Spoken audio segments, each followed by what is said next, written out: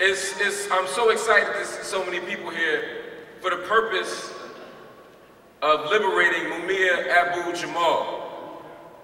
When, I, when, we, when Mumia and I wrote that book, I had, I had met Mumia and to me, he was just a case. He was a case that I've been working on since I was a kid. He was a cause, he was a struggle, he was something worth working on. But for the last two, three years, I've had the opportunity to spend time with Mumia, to talk to Mumia every Friday. Y'all messed up my car.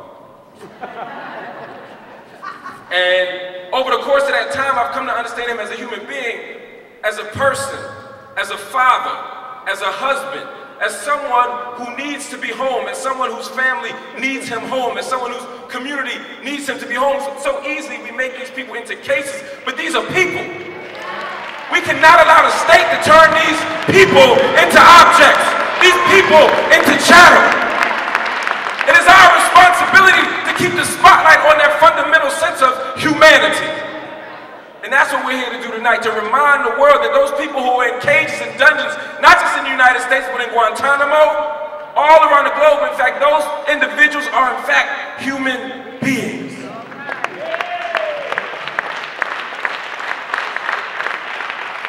And on Wednesday, we had an enormous victory for those human beings, indeed for all of humanity when the Supreme Court made a decision back in uh, April and when uh, the denial was made in October, when we had another victory on, uh, on Wednesday, we had a sense of joy.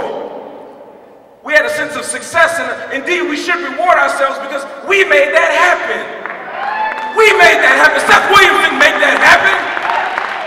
But Abraham didn't make that happen. The Supreme Court didn't make that happen. Any law, any struggle, any victory we have had, they have all been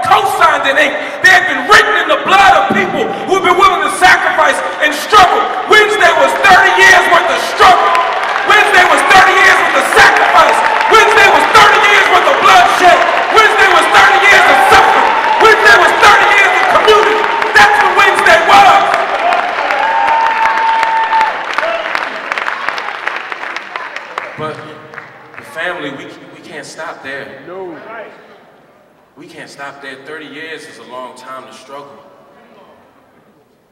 But we can't stop there. We should celebrate Wednesday. We need to pat ourselves on the back. We need to stop on the steps sometime and catch our breath before we keep climbing.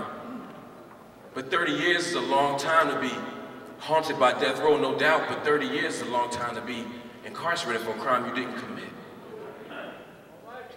30 years is a long time to be away from your family. 30 years is a long time to be away from all of this. So we have to think about what the next phase of our struggle is. Not just for, for, for Mumia, but for all political prisoners. And when I say political prisoner, I'm saying every black body caged in the United States of America is a political prisoner.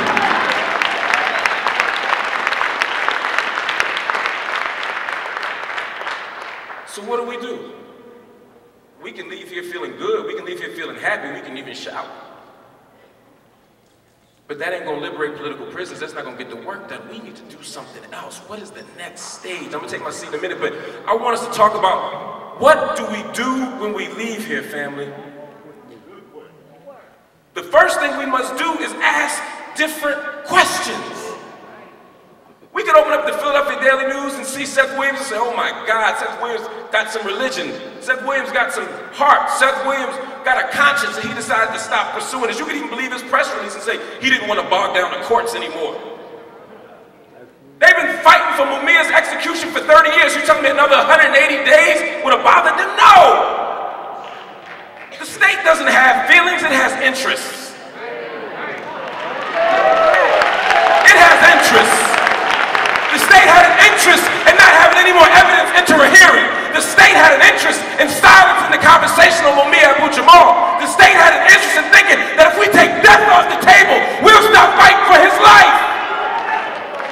But we can't stop there. We have to ask different questions. Why is the state doing this now? Correct. But we have to broaden that conversation. We have to thicken our analysis so that we don't just exhaust us at the level of Mumia Abu Jamal, because it ain't just about Mumia, although it is about Mumia. We have to ask ourselves, how do we end up in 2011 with 2.5 million black bodies incarcerated? When there were only 250,000 incarcerated in 1967, even 1970, how do we increase the prison population tenfold? Do we create a generation of criminals? Or do we create a state that is committed to criminalizing black bodies? We have to stop that. We look at drug use, we look at all these so-called social crimes. If I teach at Columbia University, if I went to my campus right now, you know how many people I could arrest for public drunkenness, disorderly conduct, simple possession of marijuana? Most of them, including some of the faculty. Don't check my top drawer, that's all I'm saying.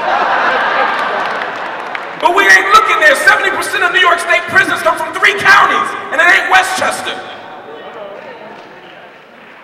We have to change the logic of the day that says that black bodies are worthy of incarceration, containment, and even lethal force. We have to change that by asking different questions. Stop asking what it means to drive while black and start asking what it means to patrol while racist. Ask a different question. Ask dangerous and counterintuitive